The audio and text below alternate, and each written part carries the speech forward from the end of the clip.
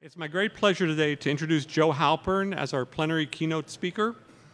Joe has been a professor at Cornell for the past 20 years and is a fellow of the American Academy of Arts and Sciences, a fellow of the American Association for the Advancement of Science, and a fellow of AAAI, ACM, and IEEE, among other organizations. He's received numerous awards for his research contributions, including the ACM SIGART Autonomous Agents Research Award, the Dijkstra Prize, the ACM AAAI Newell Award, and the Gödel Prize. He also started and runs the computer science part of arXiv, where he tells me all of you should be posting your papers. So please join me in welcoming Joe Halpern.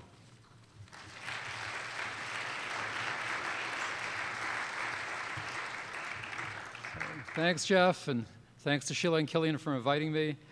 So this is actually going to be the, the one-hour version of a book that, that was published last year. So if you like the stuff, go buy the book. MIT Press. Uh, so this is joint work with lots of people. I, I got introduced to the area by Judea Pearl, Um, later work that I'll talk about with Hana Chockler and Chris Hitchcock, who's a philosopher at Caltech. Um, so the big picture, defining causality is hard. People have been trying literally for millennia. Uh, the literature distinguishes two types of causality. One that statisticians by and large have focused on that philosophers call type causality. Smoking causes cancer. And what I'm going to be focusing on in this talk is what philosophers call token or actual causality. So if you think of type causality as talking about groups, token causality talks about individuals. The fact that Willard smoked for 30 years is what caused him to get cancer. So the law, for example, is really concerned with token causality. So here's the canonical example. So it's true that it was pouring rain last night, and I was drunk. But the cause of the accident was the faulty brakes. And that's why I'm suing GM, since I'm living in the States and we're a very litigious society. So what am I saying here? So as far as token causality goes, um, sorry, as far as type causality goes, in general, pouring rain is a cause of accidents.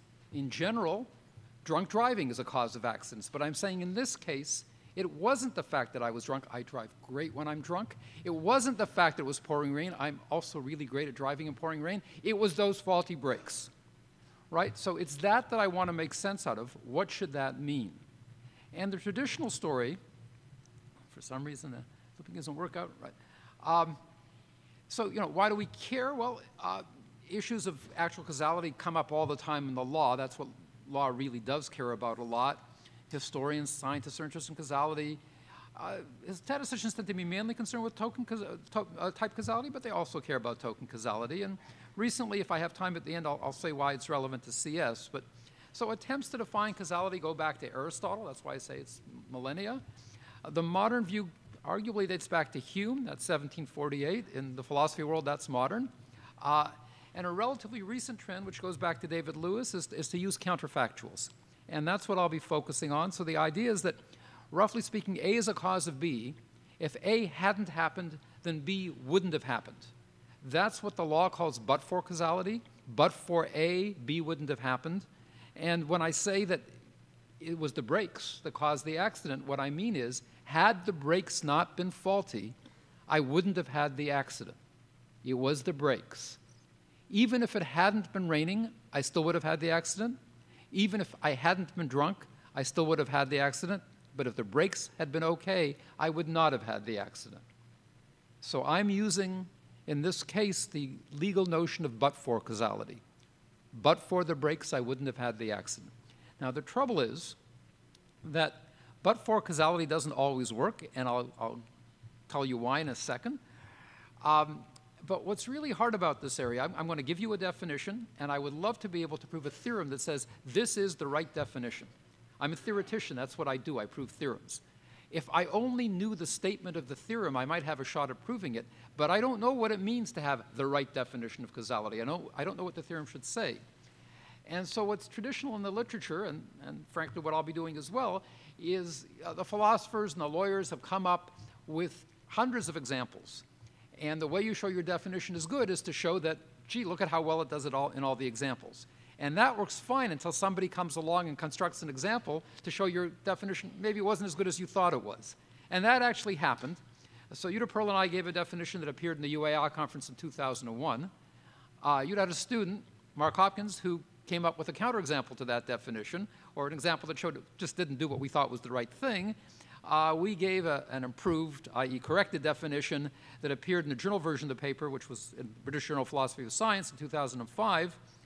Uh, and then I came up with yet another definition a couple of years ago that appeared in IJCAI. How do I know this is the right definition? Well, again, I don't. Um, I think it's pretty good. It works pretty well in all the examples. The philosophers keep trying to come up with examples to show that it doesn't work well. I tell them they've got the wrong model, but it could very well be the case. Somebody will come up with another example that shows it's not quite right. If I have time at the end, I'm going to argue maybe for computer science we should worry a little bit less about the examples uh, for, for pragmatic reasons. But let me get to that. But let me at least show you the problem why the but for definition doesn't always work. So this is an example due to David Lewis but there are all sorts of examples like this in the legal literature. I'll briefly mention one. So imagine Susie and Billy both pick up rocks and throw them at a bottle. Susie maybe threw a millisecond earlier throws a bit harder. Her rock gets there first, shattering the bottle. But both throws are perfectly accurate. You can see Billy's rock going over where the bottle would have been had Susie not thrown. So Billy's rock would have shattered the bottle if Susie hadn't thrown. So Susie is not a but for cause of the bottle shattering.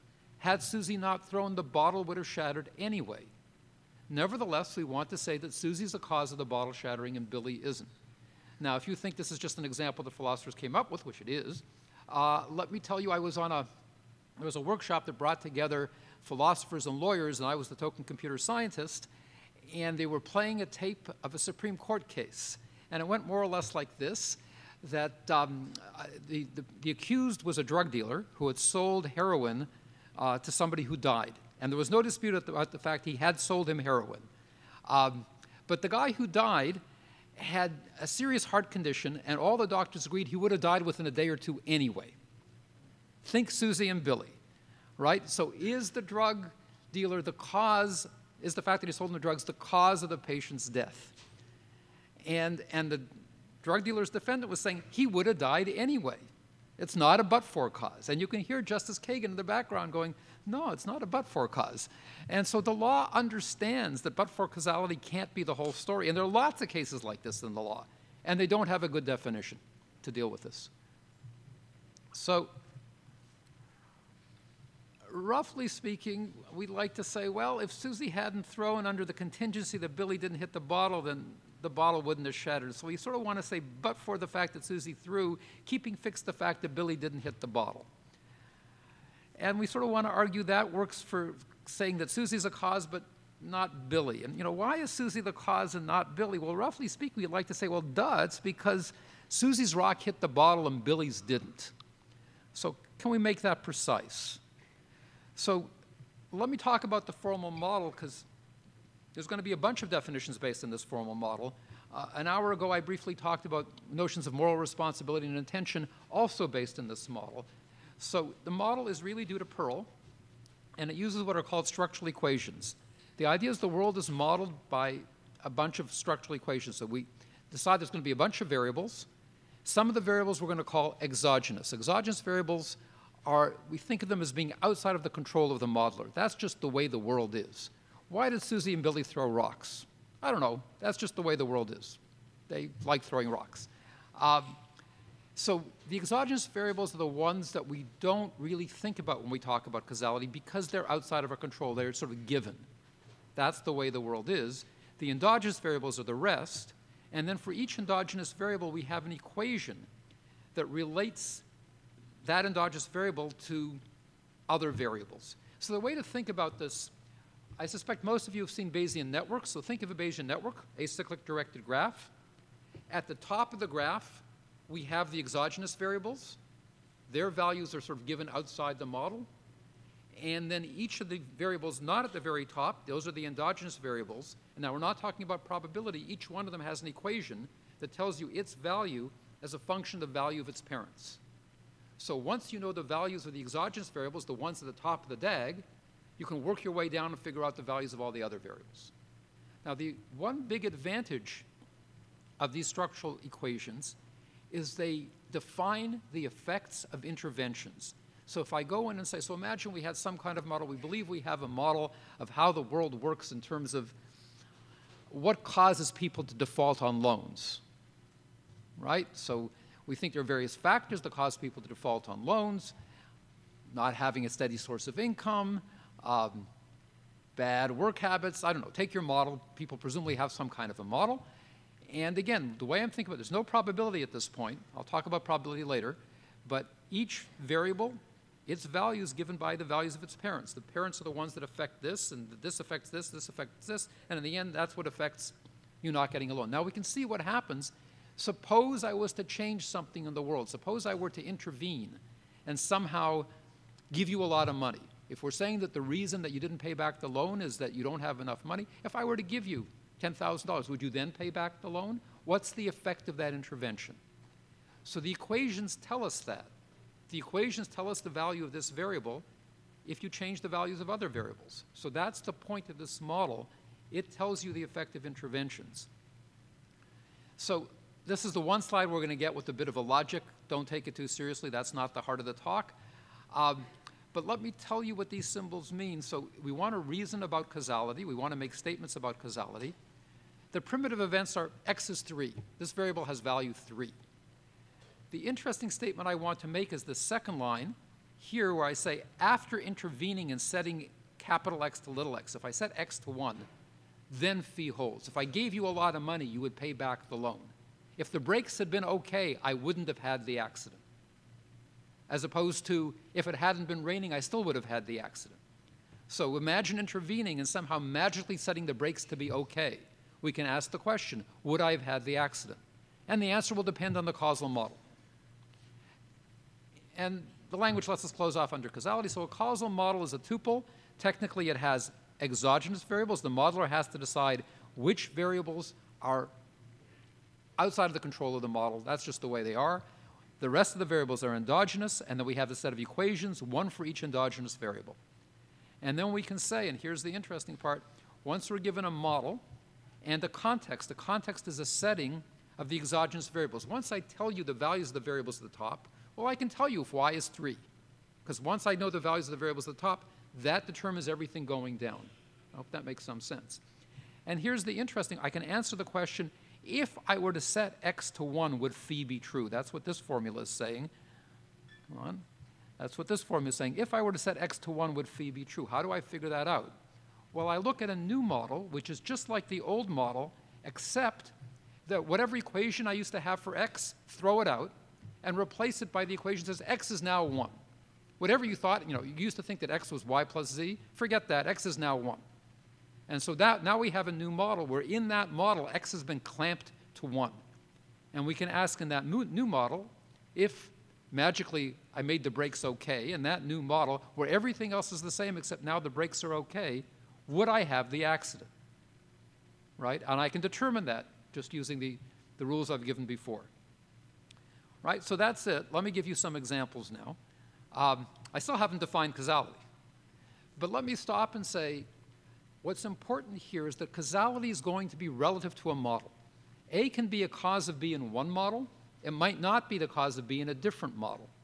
And a lot of the confusion in the literature, I claim, is people are just using different models, and we can debate which is a better model or a worse model. I'll say a bit more about that in a second.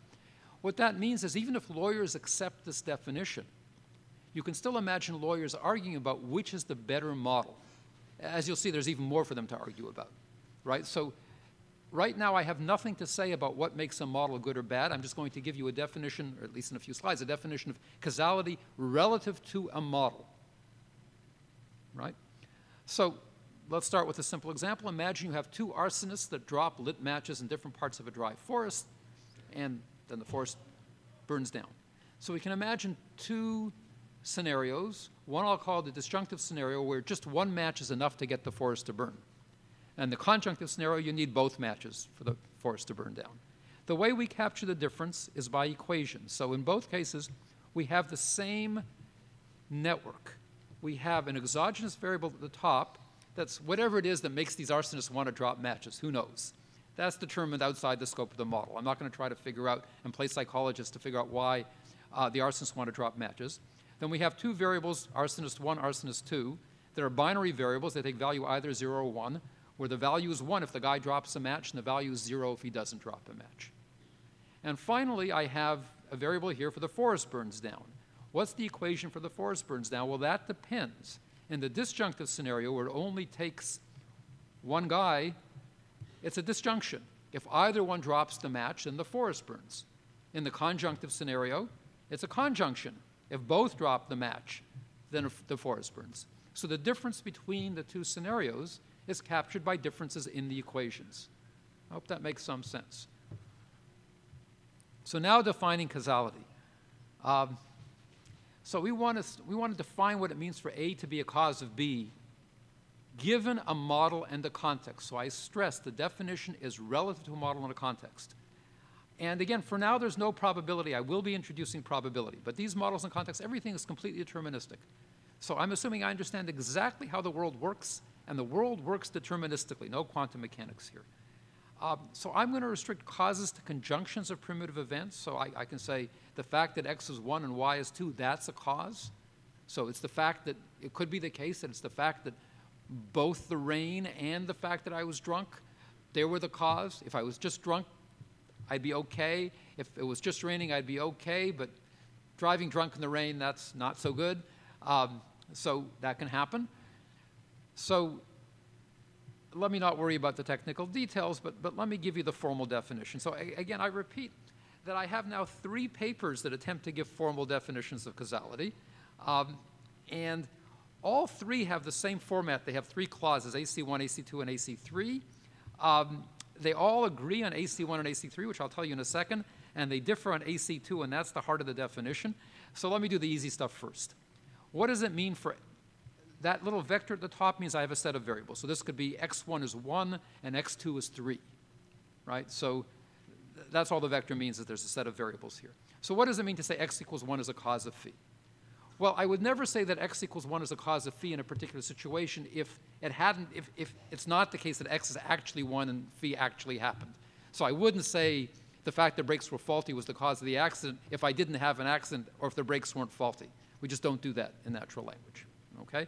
So that's AC1. It just says that um, to call A a cause of B, A and B both have to have happened. And AC3 is a minimality condition. It says there's no irrelevant conjuncts in X. So I want to say that, that um, okay, it's, it's the faulty brakes that are the cause of the accident. Maybe I sneezed while I was driving. I want to say that's relevant. But if I just look at AC1 and AC2, it turns out that faulty brakes and sneezing is as much a cause of the accident as faulty brakes. So AC3 says, no, no, no, get rid of any irrelevant stuff. So I want it to be a minimal set of things. Okay, let me look at AC2. So uh, let me say that, that, that the nice thing about the third definition, the one I had in, in, in a couple of years ago, uh, it had, it's the simplest one. I also think it's the best one for other reasons, but uh, if you think this is bad, all I can tell you is the first definition was much worse. Uh, so here's the intuition.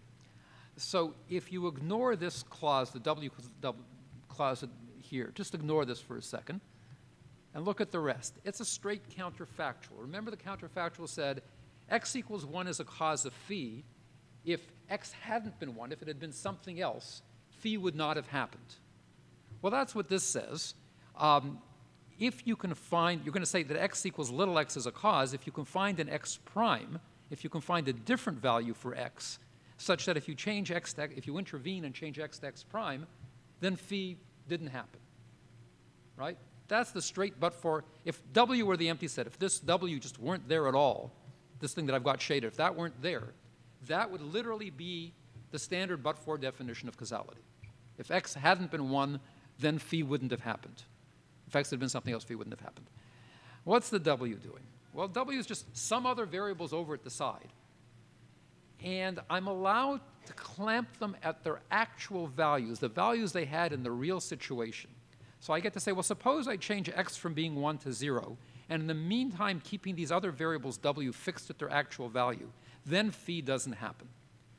I suspect for almost all of you who haven't seen this before, what's he doing?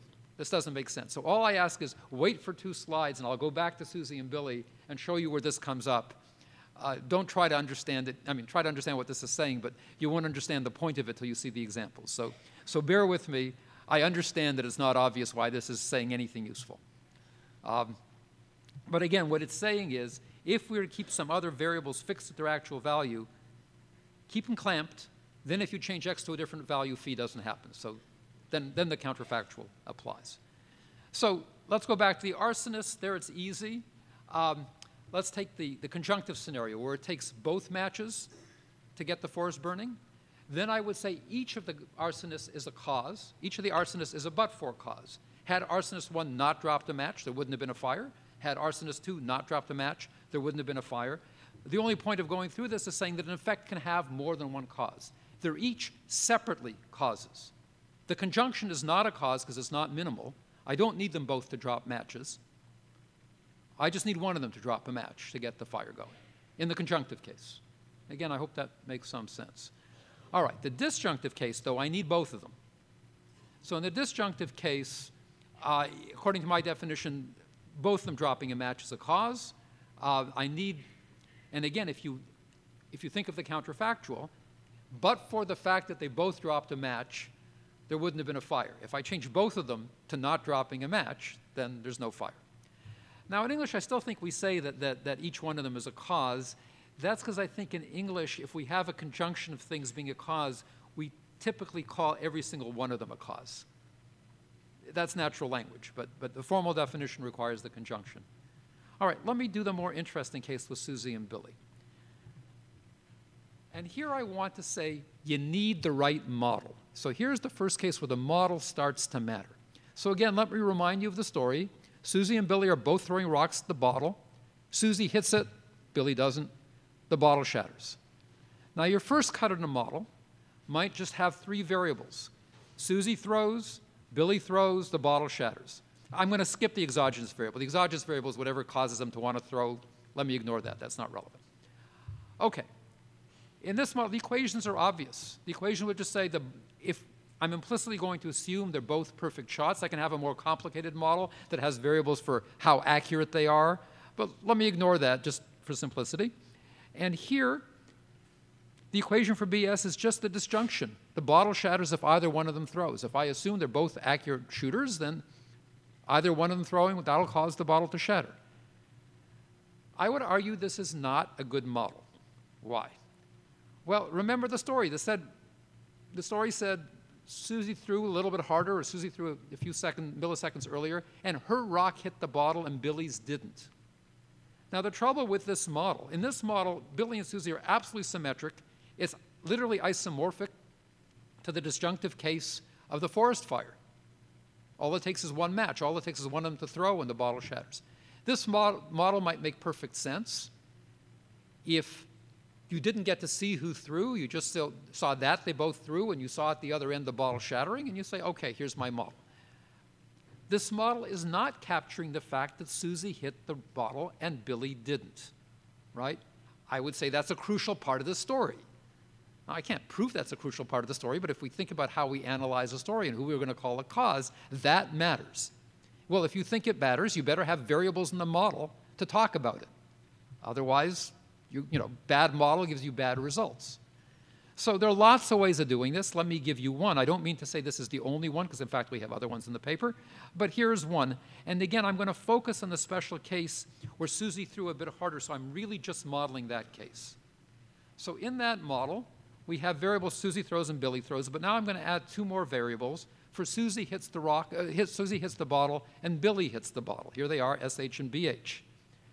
And the equation is going to say, and again, these equations are only going to capture the situation where Susie threw a bit harder. I have a more general model where, where I allow Billy to throw harder, Susie to throw harder, but if Susie throws harder, well, the equation for Susie hitting is just if Susie throws, Susie hits.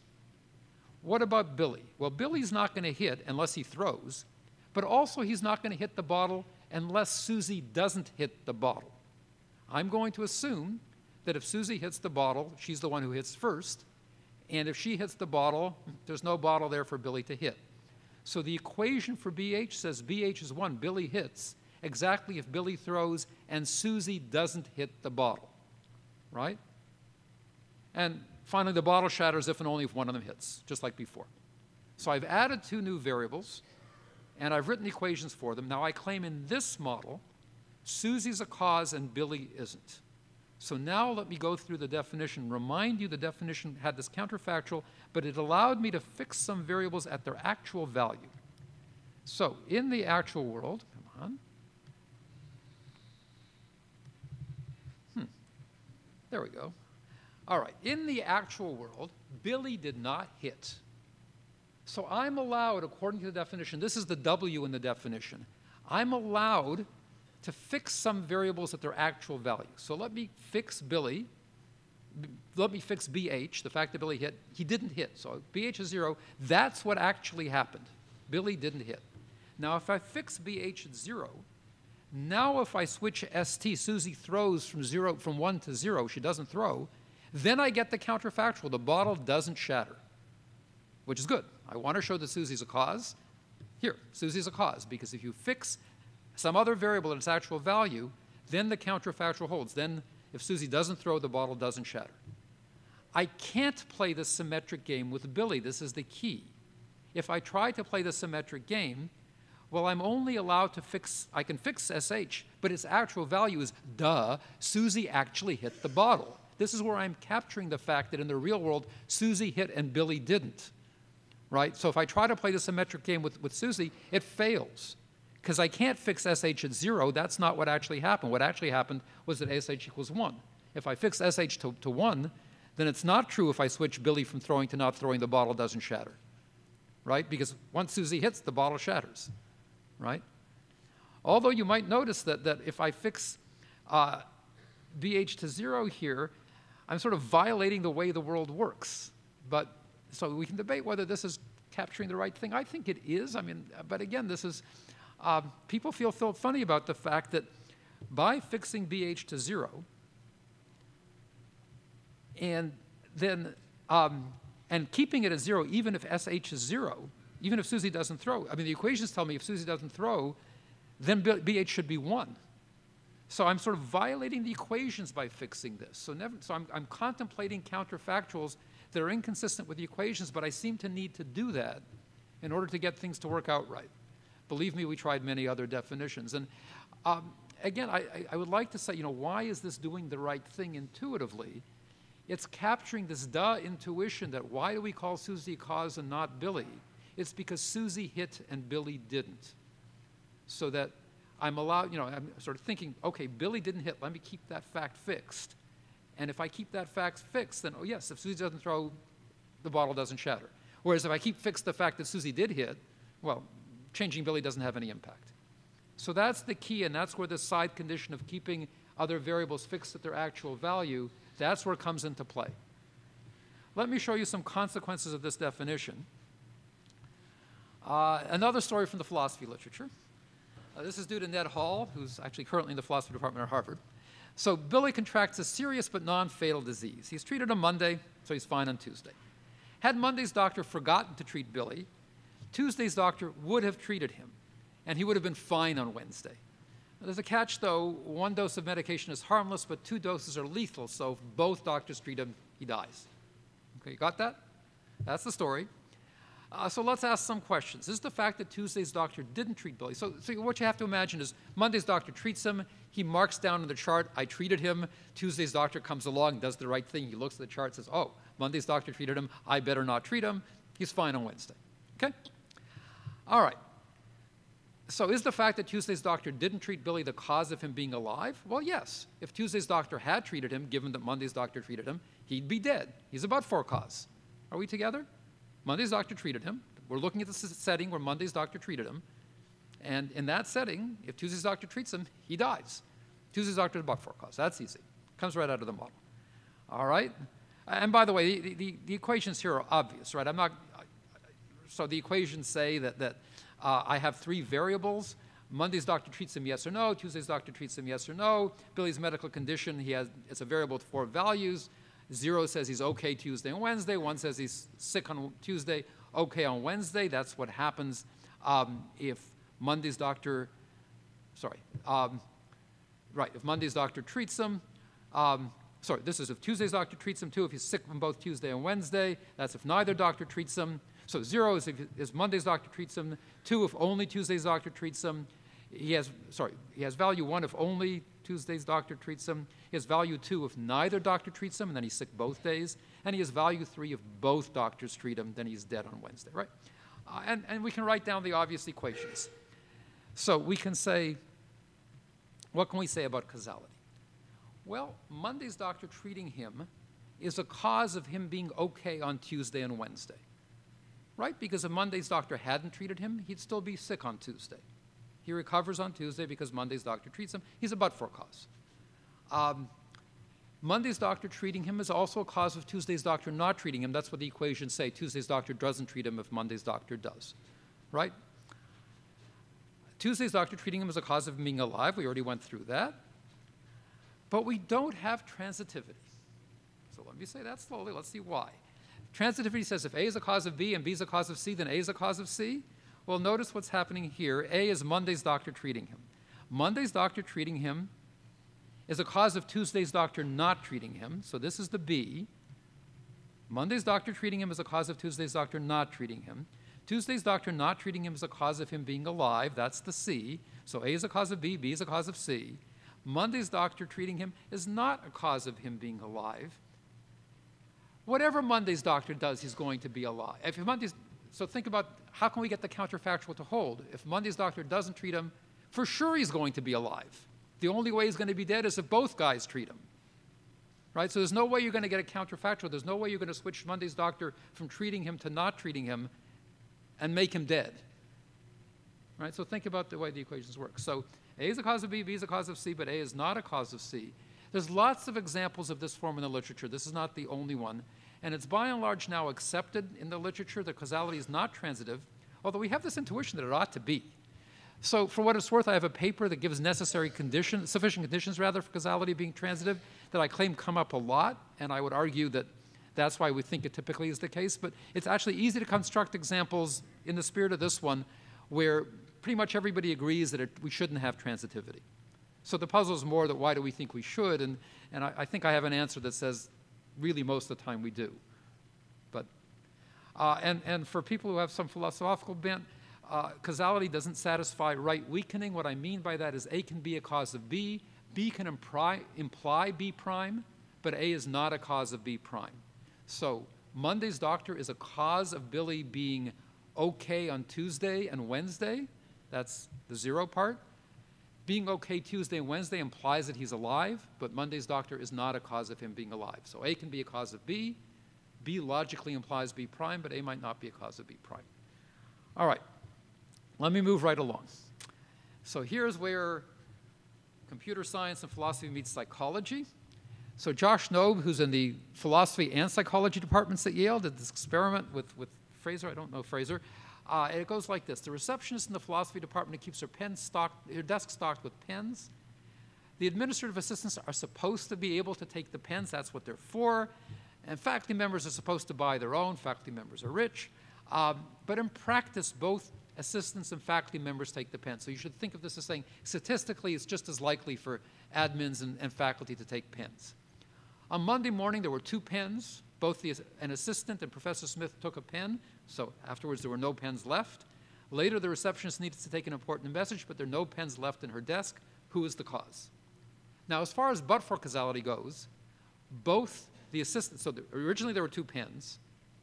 An assistant took one, the professor took the other. It's totally symmetric. If either one hadn't taken a pen, there would have been a pen there. So each of them is a but for cause of there not being a pen there. So as far as the definition I gave goes, they're both causes. They're both equally good. It's completely symmetric. But if you ask people, they say, Professor Smith is the cause. Why?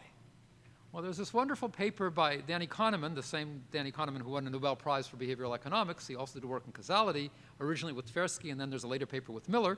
Um, and he says an event is more likely to be undone by altering exceptional rather than routine aspects of the causal chain that led to it. So he was actually, even in those days, thinking about counterfactuals. And he was saying, look, when you think about, when people think about counterfactuals, they think of a counterfactual as changing an abnormal thing to a normal thing. So over breakfast today, um, with Zach Lipton, he gave this wonderful example in a chess game. There's a whole sequence of moves, and in the end, you won. So, which of the moves caused you to, to win, or which of the moves caused you to lose? You know, presume the whole chain, you wouldn't have lost. But, but people tend to focus on the one move that was abnormal, that was the particularly brilliant move that caused the win, or the particularly dumb move, in my case, that caused the loss. Right? So people are particularly looking for things that were relatively abnormal. So if you're going to change something in the counterfactual, people tend to prefer changes that change you from an abnormal situation to a more normal situation. There's lots of now psychological experiments to illustrate this. Um, so in this case, which is the one that makes, which is the change that makes the world more normal? So if we assume it's the departmental rule that faculty members, that the pens are supposed to be for the admins, not the faculty members, it's more abnormal for the professor to take the pen than for the admin to take the pen, at least as far as that rule goes. And that we would claim is the reason that people tend to blame the professor.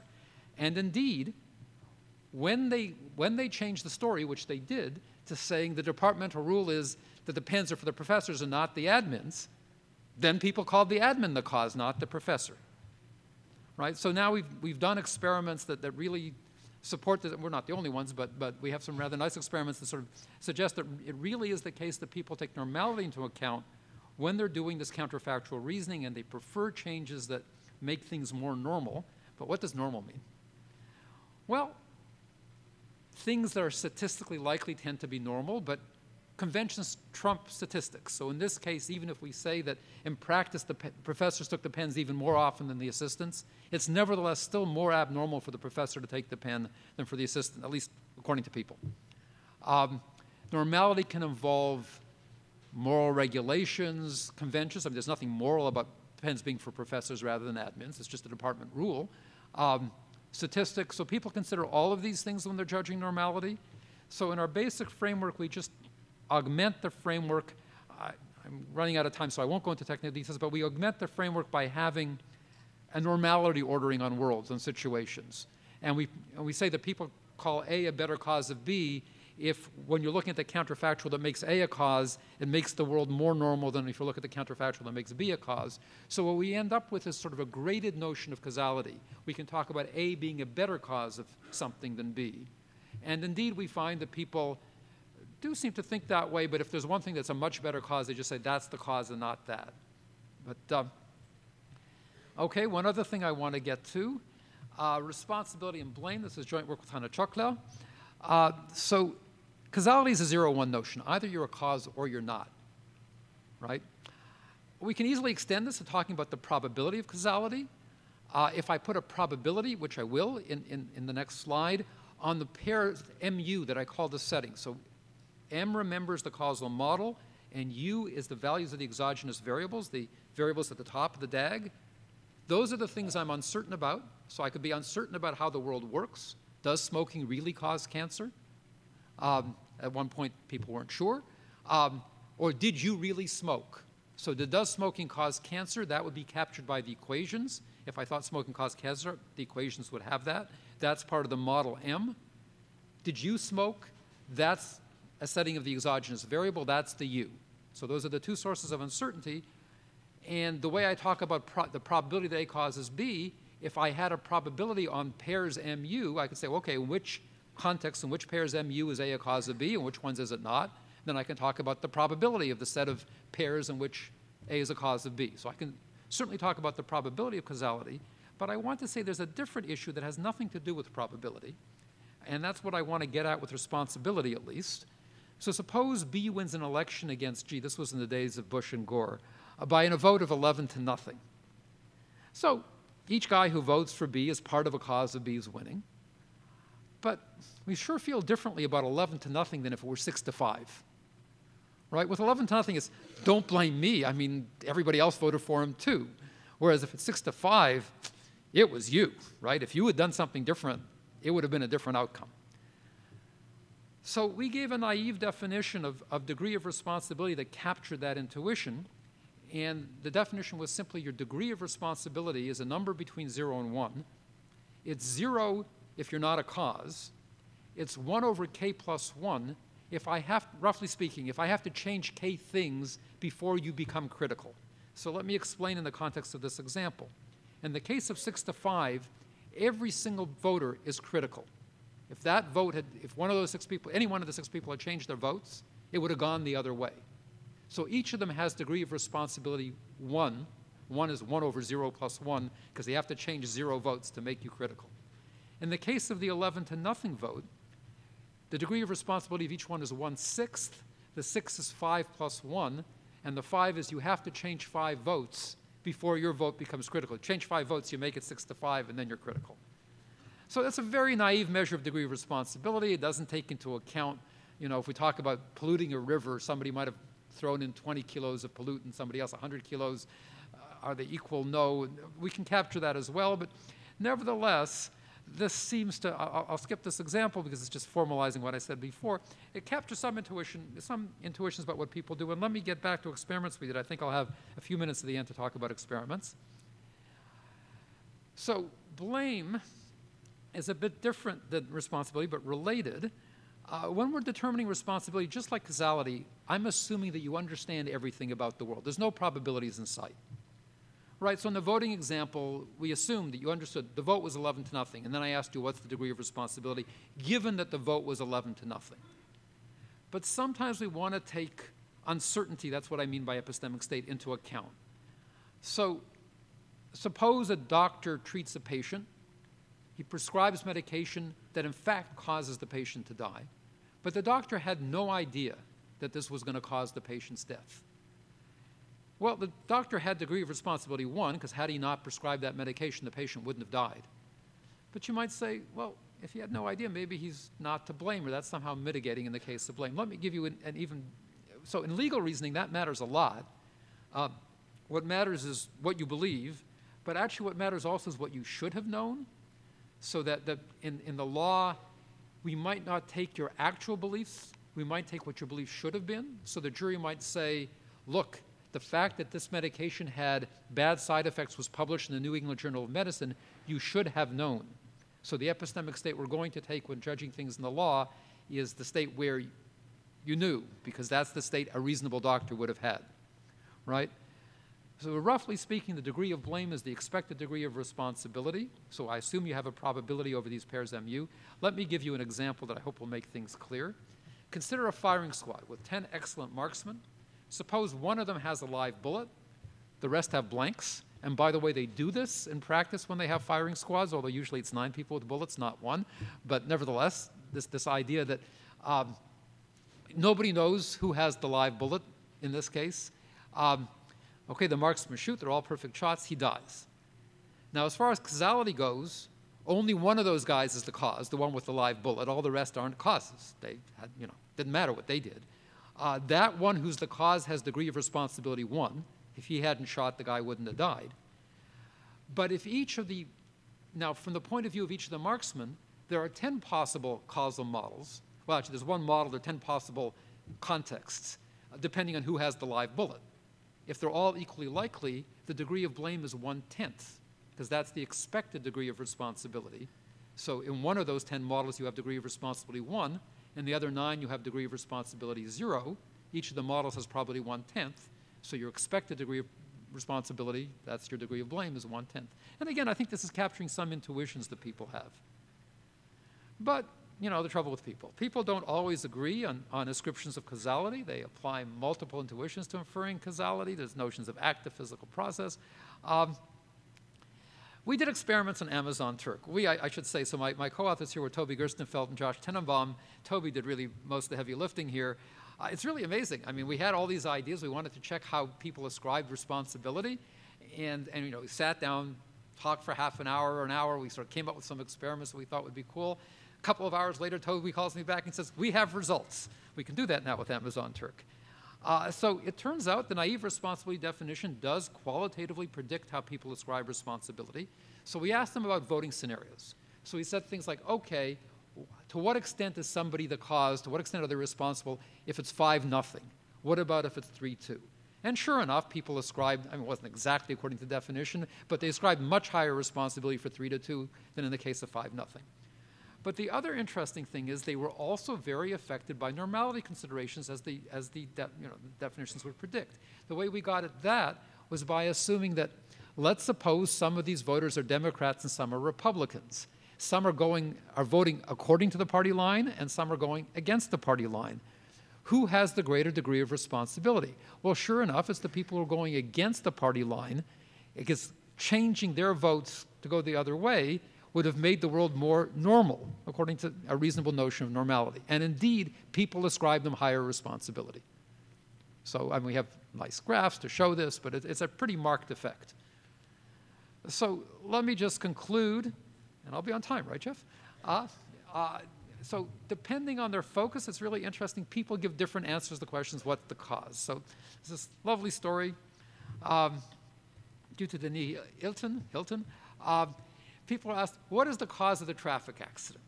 The engineer says, hmm, bad road design. The mechanic says, bad brakes. The sociologist says, there was a pub near the highway. The psychologist might say, the guy was depressed. Uh, now, we would say, look, all these answers are reasonable. What's going on here? Each of these people are writing down a model where different variables are exogenous and endogenous. By and large, why do we care about causality? Well, one of the reasons we care about causality is, you know, we want to know what we can change to make it better next time around. Well, each person is focusing on what they think they, you know, they can do something about or that they understand, right? The engineer understands about road design. So for him, the road design becomes an endogenous variable. Things like bad brakes pub near the highway and so on, those are exogenous. For the mechanic, okay, I, I, deal with brakes. It's the brakes that are, are, are, endogenous and everything else is exogenous. For the sociologist, it's the pub that's uh, perhaps that, that, that's endogenous and the rest are exogenous. My point here is there is no right model. And by and large, the choice of exogenous and endogenous depends on what you think you have control over and what's beyond your control. So, right, when I said the exogenous variables are the ones that you want, you want to take as given and that are sort of you can't do anything about, well, different people might feel they can do something about different things. So, different things will become exogenous and endogenous. I don't want to say any of these models is wrong. You know, it's really up to the modeler. Um, you know, what happens if somebody tomorrow tells me, here's a counterexample to your definition? Well, okay, I won't be happy. I'll typically try to come up with saying, my usual response is, you have the wrong model, let me give you a model where things work out fine. That actually works surprisingly often. But nevertheless, I still want to feel, no, my work hasn't been wasted. Um, you know, I didn't, you know, two years of my life down the tubes or something like that. It turns out these definitions, as I've given them to you, are really useful. Useful in what sense? Well, so Anupam Datta and his colleagues have used them to ascribe causality in, in scenarios of accountability, right? So um, Yahoo or Target, pick your favorite company, uh, had made a bunch of mistakes that you know, caused millions of, of, of credit card numbers to be released. What was the cause of that? Um, Dan Suciu and his students looked at causality in databases, and that you, you want to query databases about causality. So you want to know things like, why are you telling me that this is the answer to my query? What is it in the database? And when I ask a query and I say, you know, tell me a director who directed a horror movie and a musical, and you give me an answer, and, and, and um, why did you give me that answer? Right? Which tuples in your database led to that answer? So I basically took this definition, they did a slight tweak that made it more computationally tractable, and they felt they had a very good way of dealing with causality in databases by using this definition. Hana Chockler used to work at IBM. She's now at King's College. She wrote a piece of software to help software engineers decide why was their program crashing. So these were typically small programs, and you know which line of code was causing the problem here. She was actually looking at degree of responsibility. So to what extent was this line of code responsible for this program crashing. And she was really using our formal definition of degree of responsibility. And it turned out we know the programmers really liked it because when she took down the code for two days to sort of fix up some of the, of the programming, she got lots of complaints from the programmers. We want this tool back. Right? So this turned out to be a useful tool for helping software engineers debug their programs. So I, look, I really am interested in sort of getting it right. Now, what does getting it right mean? Getting definitions that sort of accord with the way people ascribe causality in a useful way, that the law can use in a useful way, and that means they better, you know, accord to some extent with the way people use it. Um, people, you know, juries are going to have a lot of trouble saying A is a cause of B if you're using the word cause in a way that's totally different from the way they use it in natural language, even if it doesn't have to be exactly the same. Um, But you know, the fact that it's useful for software engineers and database designers says that even if somebody finds an example where this isn't working right, it seems to be working right in those contexts. So typically what happens is people find, you know, sort of a corner case where it's not doing the right thing. If it's doing the right thing most of the time, pragmatically, it still might be a useful definition. So, you know, maybe my two years of work hasn't been wasted. Uh, but my sense is that in terms of going forward, so these days, you know, for those of you who came a couple of hours, an hour and a half ago or so, I, I, these, the framework, the, the, causal structures are useful to give definitions of notions like intention and moral responsibility. So even if you don't like the definition of causality, I think causal structures are really useful as a way of sort of organizing how you look at the world for these class of related notions, blame, responsibility, intention, and so on.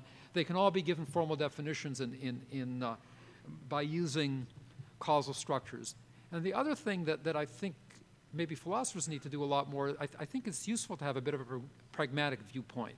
Ultimately, we care about using these definitions to help us do things like assign blame in, in law or, or figure out what is the cause if, if, you know, when there's a data breach or something like that.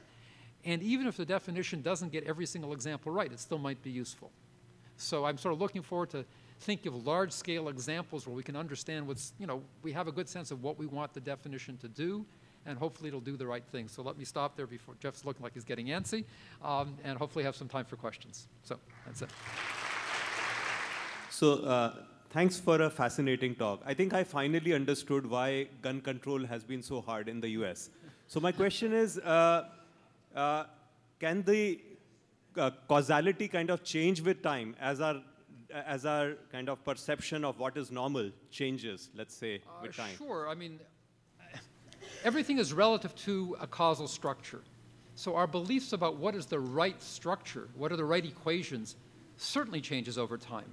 There was a time when people seriously thought that smoking might not be a cause of cancer. I, I, there are actually papers by statisticians that say smoking might not be a cause of cancer. There might be some gene that causes you both want to smoke and to get all the symptoms that we know are associated uh, with cancer. Uh, so people's view of what is the right model clearly changes over time. People's beliefs about what is the right model clearly changes over time.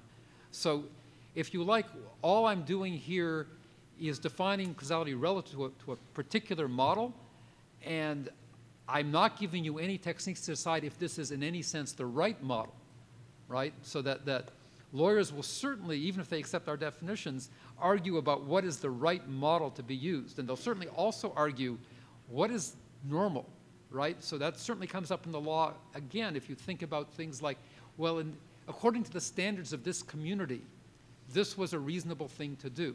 So notions of normality come up all the time in the law because you can understand the statements, according to the standards of this community, it's okay to, to you know, walk around in the nude or something like that, right? So um, definitely these things change over time. So think of this as a, you know, this causal model is describing the way you think the world works right now. Maybe tomorrow I'll think differently. Sorry. Uh, speaking of time, on the rock throwing example, I'm wondering why it wasn't modeled that Susie threw the rock at time that uh, So we have a model in the paper that does exactly that. So we have oh. timestamp oh. variables. Okay. Uh, we get the same answer. So we have variable. There's nothing.